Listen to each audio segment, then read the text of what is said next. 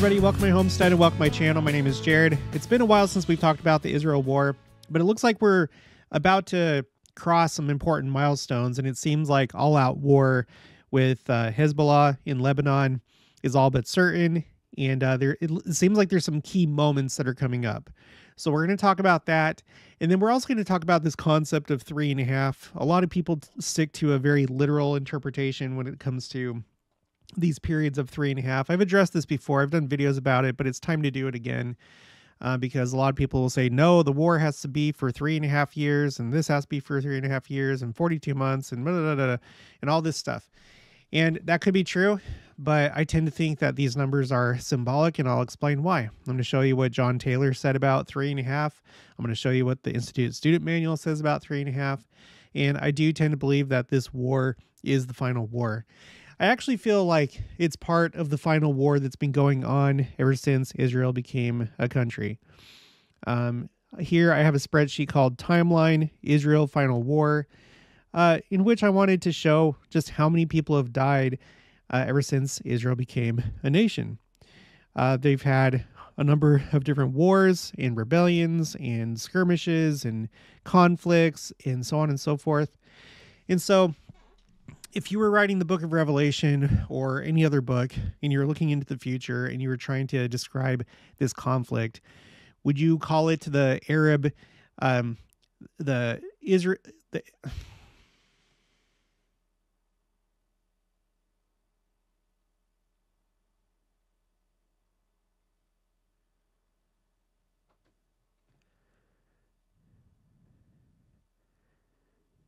the Israeli Arab conflict? Would you call it the Israeli Palestinian conflict? Do you think that that's what the prophets would write in uh, the scriptures, or do you think that they would use terms that they were familiar with? Again, we're going to talk about three and a half and what I believe that actually means and how that would apply to uh, this entire time. I've tried to update the numbers, by the way. It's kind of hard to do. There's a lot of things going on. But with this war, the Hamas um, the Israel Hamas war. So far, it looks like Israel has lost, and this includes the initial attack on October 7th. It seems that Israel has lost about uh, 1,471 on its side between civilian and military. Uh, and that includes just run of the mill terrorist attacks. And then on the other side, it seems like, well, it's been reported for the Palestinians that they have lost uh, 29,514. And then Hezbollah, um, ever since they joined in, they've lost 221 uh, uh, of their people. So, uh, but things are escalating, and let's just get into it. So, we're going to talk about a couple things. We're going to talk about preparations for war in the north with Hezbollah, which seems like it'd be a much bloodier conflict and what happened in Gaza because Hezbollah is much more they're much better equipped. They have more firepower and I think more manpower. Um, and then we're also going to talk about Gaza and how it seems like the last big milestone is going to be reached pretty soon when Israel goes into Rafah, which is essentially the the last main hub of um, of Hamas fighters. So let's look at this times of Israel. Israeli Navy carries out extensive drills in preparation for potential war in North. Okay. The Israeli Navy's, Navy's fleet of missile boats carried out extensive exercise, exercises over the past week, the IDF said on Friday, as the military prepares for a potential war in the north, while Israel warns that its patience for a diplomatic solution is running out. Again, I just want to remind you there's all these people that want to go back home. And last I checked, there was like a either a five or ten kilometer buffer zone uh, along the border of Lebanon, and if you live in that buffer zone, uh, you've been evacuated, and you can't return home. And Hezbollah has not stopped attacking Israel, and so to resolve it, uh, it looks it, it increasingly looks like it's going to have to be done through military means which would probably mean uh, a full a full on war and uh, another major escalation in uh, this thing that started on on October seventh. And I do tend to think that things are just going to continue to escalate. We've we've seen escalations with Yemen, we've seen escalations with Iran and the militias operating in Iraq and Syria. I think things are just going to continue to escalate, frank, uh, personally and frankly. All right. Israel and Hezbollah also continued to exchange cross border fire on Friday as the Iran backed terror group claimed to target a regional council building, while the IDF said it intercepted a suspicious drone that crossed into its airspace. Later on, the drill comes amid daily attacks by Hezbollah terror group on northern Israel amid the ongoing war in the Gaza Strip. Israel has warned it can no longer tolerate Hezbollah's presence along its border following the, the October 7th atrocities and has warned that uh, should a diplomatic solution not be reached, it will turn to military action to put, push Hezbollah northward. Foreign Minister Israel Katz warned Friday that Israel, quote, will not be patient much longer for a diplomatic solution in the north. End quote. Uh, Katz shared a clip on social media from Channel 12 from a Channel 12 report Thursday evening which said Israel sent an official warning to the UN Security Council that Iran is continuing to send arms to Hezbollah in breach of UN Resolution 1701, which ended the 2006 war between Israel and Lebanon. Quote, if the dramatic intelligence information we revealed before the Security Council doesn't lead to a change, we will not hesitate to act, tweeted Katz or cuts, I don't know. After the report claimed Israel's letter to the UNSC details the types of weaponry Iran is supplying Hezbollah, as well as via which routes and on what dates. Okay. Since October 8th, so the day after the initial attack, Hezbollah led forces have attacked Israeli communities and military posts along the border on a nearly daily basis, with the group saying it was doing so to support Gaza amid the war there. So uh, that's the thing. If that's why they're doing it, then how is there going to be a diplomatic solution? Like, how are, how are they going to work this out now? I don't know. I'm not a diplomat. I don't know all the intricacies of geopolitics, but it doesn't seem like they would just back down, uh, especially at this critical moment when Israel's about to go into Rafah, which I think is going to be another uh, viewed as another escalation on the the Arab side. Um, I don't know. I I don't see any way out of this, frankly. Okay.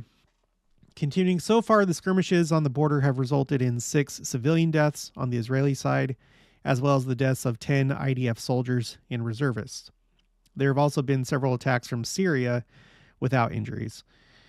Hezbollah has named 211 members who have been killed by Israel during the ongoing skirmishes, mostly in Lebanon, but some also in Syria. In Lebanon, another 32 operatives from other terror groups, a Lebanese soldier, and at least 30 civilians, three of whom were journalists, have been killed. French, US, and other officials have been attempting for weeks and months to tamp down the possibility of any escalation along Israel's northern border as it continues to fight against Hamas in Gaza. But no breakthroughs appear to be on the horizon. And that's the end of this article. And like I said, I feel like this entire thing is part of just a bigger plan by Iran. I think it has everything to do with um, swaying public opinion worldwide and getting as many people as possible um, against Israel so that Iran or whoever can deal the final blow. I think that they're intent on doing that. And we see uh, how many people have gone in support of uh, Hamas and against Israel worldwide. There's been all these, well, there's been this big political division, more polarization. We've had marches and demonstrations in support of uh, Hamas. And, um, you know, of course, there have been some on the Israeli side, but they're usually peaceful. But and, and I don't think there's been as many. But on the other side, it's been a lot more violent, and um, and there's been just these big things happening all across the world showing support for Hamas. I think that uh, they're winning when it comes to uh, support against Israel. We have all these nations across the world that are hostile toward toward Israel, and it seems like it's increasing. So, I think if Iran just sits back and they let Israel do these things, if they if they allow them to go into Rafah, uh, it's just going to give them in their minds more justification to do a do a direct attack or whatever their plans may be.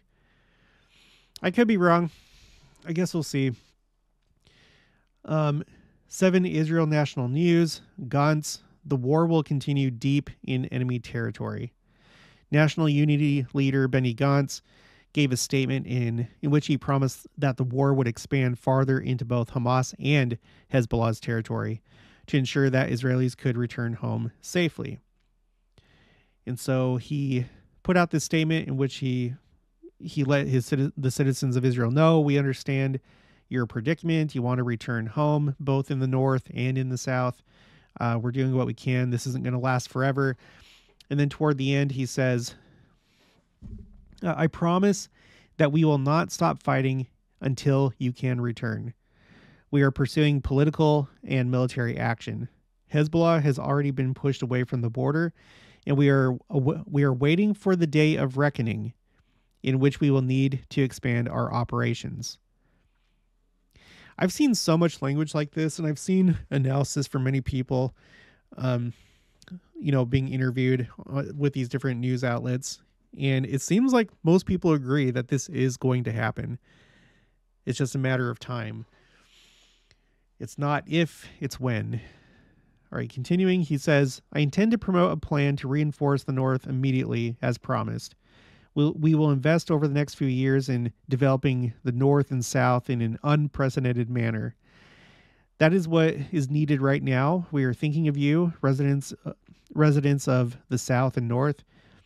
We know how strong your communities are, and along with all Israel, we will build, uh, be built, and be what? We will build, be built, and be victorious. All right, and then the last thing I want to cover as far as recent developments in Israel is this. This is from the Hill. Israel sets Ramadan deadline for feared Rafah invasion. Uh, Israeli officials appear to have set a deadline to invade the southern Gaza, sorry, the, the, the southern Gaza city of Rafah, the largest refugee camp in the coastal territory, for the Muslim holy day of Ramadan on March 10th. Benny Gantz, a member of the Israeli War Cabinet, delivered an ultimatum at a Sunday event with the Conference of Presidents of Major American Jewish Organizations, an umbrella group for the American Jewish community. Quote, the world must know, and Hamas leaders must know, that if by Ramadan the hostages are not home, then the fighting will continue, including in Rafah, Gantz said at the event. Israel has argued it must move into Rafah, which hosts more than a million Palestinians sheltering from the war, to ensure the complete military defeat of the Palestinian militant group Hamas. So uh, let's pause here. So, anytime we're talking about civilians and um, people that are trying to get away from the war and uh, the humanitarian situation, you know, th- that's always a sensitive area, right? Uh, especially with those that are against Israel. So if they were to do this, I think that it would just galvanize that side even more against Israel and probably further escalate things. But I understand I understand Israel's side. They they have to do it. They have to get rid of Hamas completely. Hopefully they're they'll be able to do it in a way that uh it'll minimize you know casualties um on the civilian side, but I don't know. It, it's just it's we're basically between a rock and a hard space. I think. Let's pull this up. Let's go to Institute Institute for the Study of War. Let's see. They they have a map there that we can look at. I wasn't thinking about this. Let's see. Uh, where is it? Oh, I don't know if they have it anymore. Let's go to Iran update because that's what they usually put it under.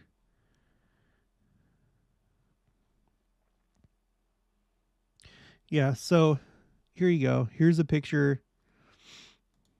This is as of February 21st. So these blue areas that are are areas that are under well, I'll just read what it says here in the legend.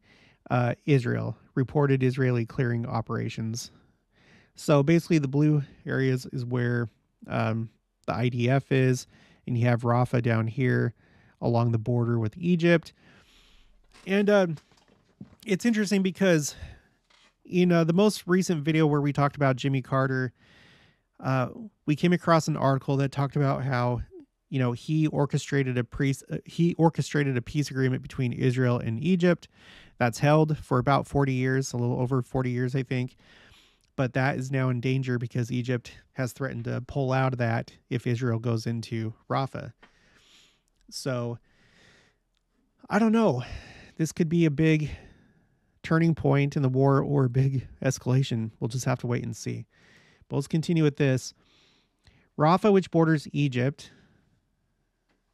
No, no, sorry.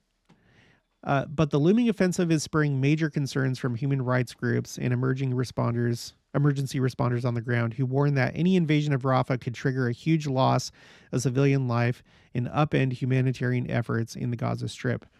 Rafah, which borders Egypt, is the only place where humanitarian aid is consistently entering Gaza, and Israeli military operations there could hinder what few basic necessities many Palestinian civilians have access to, including food, water, and medical aid. Quote, military operations in Rafah could lead to a slaughter in Gaza, said Martin Griffiths, the UN's emergency relief coordinator, in a statement last week. Quote, they could also uh, leave an already fragile humanitarian operation at death's door, end quote. So you see how this is probably going to sway people, people that are like in the middle or people that are already more friendly to, or I, I should say maybe hostile against Israel. It's it's probably just going to make uh, that worse. Uh, to address those concerns, Israeli Prime Minister Benjamin Netanyahu said he ordered his military to draft a plan to evacuate civilians before the invasion. Israel's main ally, the U.S., has backed a move into Rafah, but only if a plan is created to keep civilians safe. Uh, another thing that is probably going to cause tensions to flare is I, I, saw this that, let's see, um, Temple Mount restrictions. Let's go to the news. Yeah, government ministers clash over Temple Mount restrictions uh, Israeli ministers clash over Temple Mount restrictions er, restrictions during Ramadan. So, whenever Israel does anything, excuse me, anything with the Temple Mount, like uh, restricting access to it uh, to Muslims, or they limit the the hours in which they can go there and pray, that tends to lead to uh, conflict, and so that's just something to be aware of as well. Okay. Anyway, so that's basically it. So in the north, it seems like Israel's getting closer to attack um, Hezbollah and like expand things and maybe declare all out war on Hezbollah. It looks like they're getting toward the end, or like I said, the last main um, center or hub uh, during this campaign against uh, Hamas in Gaza in uh, the city of Rafah. So those are like two things, both in the north and in the south. And we're coming up on Ramadan and Passover, and then the restrictions that we just talked about. So things might get interesting pretty quick. Now, really quick, uh, let's talk again about how this could potentially, this entire thing, this entire Arab Israeli conflict, uh, Palestinian Israeli conflict itself may be the final war. And you might say, well, uh, it's been longer than three and a half years. It has to be exactly three and a half years. Let's look at a few things really quick.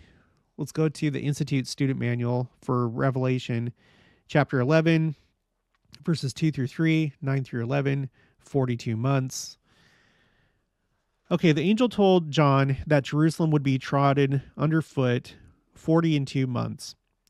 42 months is the equivalent of three and a half years. Likewise, the two witnesses mentioned in verse 3 would prophesy and testify of Jesus Christ for 1,260 days, or approximately three and a half years. They would be slain and their bodies would lie in the street for three and a half days. In the scriptures, particularly in Revelation, the number three and a half often describes a limited period of tribulation, during which evil forces are allowed to do their work.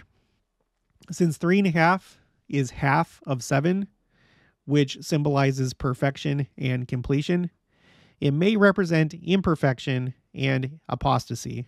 It may also suggest that God will not allow evil to go on unchecked. Evil's time is bounded, its limits are set. And to me, that's an explanation that makes a whole lot more sense because if you were to take those numbers literally, again, you'd you'd be able to mark your calendar and be like, "Oh, well, time's up. We know what's going to happen next." And I don't think that that's how the second coming works. I think this is meant to say, look, there's going to be this period of time where there's conflict, there's war, there's apostasy, there's all these different things. It's just simply the symbolism of a time of evil, right? A time when Satan uh, can do his work. And I think that you could apply three and a half. You could you could apply 42 months, 1,260 days, 1,335 days, whatever, 1,290 days to this, rather than being a literal um, time frame, a symbolic one. Uh, it seems that John Taylor agrees. If you go to uh, his discourses, there's three of them where he talks about this. So this is John Taylor giving a discourse uh, at General Conference, October 7th, oh, of all days, October 7th, 1874. Holy cow, of all days, October 7th. Okay, so what does he say? Let me zoom in. One of the prophets, in speaking of the affairs that were then to take place, said that a certain power should arise which should make war with and prevail against the saints. Now, just really quick, already some of you are like, oh, yeah, that's the Antichrist. I want to remind you that a single person, like a one big bad boss Antichrist of the last days, is not part of our doctrine and it never has been. I have a playlist called The Antichrist where I go point by point by point by point and show you that that's not our doctrine. We do have many antichrists, but there's not one the way that evangelicals uh, believe it's going to play out that has to sit in the third temple that that the that the Jews build and then rule over the world for a time. That's not our doctrine. Okay, if you if you I'm not going to explain it all in the com if you put something in the comments, I'm not going to address it because I already have this entire playlist that goes over it. For example, the man of sin, Joseph Smith already said that that's happened. The man of sin has been revealed. Uh, there's also other key concepts like the mark of the beast, 666, the little horn, da da da da da, on and on and on. Just watch my playlist. But look what John Taylor says in General Conference. Said that a certain power should arise which should make war with and prevail against the saints. And then he cites Daniel 7, verse 21, Revelation 13, verse 7. And that that power should seek to change the times and the laws, and that they should be given into his hand for a time and times and the dividing of times. Very well, these things have taken place. It's already happened. What people don't understand is that these scriptures that people look at and think that it has to do with a single person antichrist, it's actually talking about Satan and it's talking about the great apostasy. This is a concept that is not part of uh, evangelical doctrine or other or other Christian denominations. They don't have the concept of the great apostasy. And so these verses wouldn't make sense to them because it's about them. Does that make sense? It's about them. Not that every single person, is every single evangelical, I'm not saying that they're like bad. They're just, they're lost. The world has been in a state of apostasy since the apostles were killed, priesthood keys were removed, and the authority to administer the ordinances uh, removed from the earth and lost. So, all these Christian churches, even though a lot of them are good, they're in a state of apostasy. And so they wouldn't recognize this. When you go to their timelines, uh, what we call the great apostasy, they call the church age. So they don't even have this concept. They wouldn't read these scriptures the same that we would. All right, there's another one by John Taylor. Um, this one was, let me just find it, March 21st, 1880, delivered at the Ogden Tabernacle. Okay. And when, and when, okay, gosh, okay, here we go. And when people were flocking to John to be baptized of him, Jesus came also as a candidate for baptism. But John told him that he, John, had need to be baptized of him. But the Savior told him to suffer it to be, so then, suffer it to be, so then to fulfill all righteousness. And he was baptized of him. Well, that dispensation continued for a long while after, and it began to decline and disappear. But there were a great many men in different parts who listened to the principles of the gospel of the Son of God. But by and by, it began to fade away, both upon the Asiatic continent and upon this continent. It was prophesied that it would, and that there should be a certain power that, okay, and that there should, and that there should a certain power arise who should seek to make war with the saints of God, and that it should overcome them. And then he cites the same two uh, scriptures.